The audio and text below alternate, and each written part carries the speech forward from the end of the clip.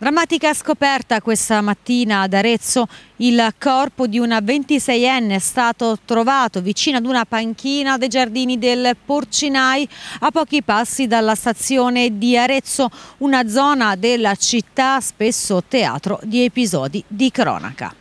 A notare il cadavere alle prime luci dell'alba alcuni passanti che stavano andando a prendere il treno. L'uomo di origini tunisine, noto alle forze dell'ordine, senza fissa dimora, pare trovasse rifugio sempre in posti diversi. Sul posto, oltre ai sanitari del 118 che hanno potuto solo constatare il decesso, è intervenuta anche la Polizia di Stato che ha avviato accertamenti per capire cosa sia accaduto.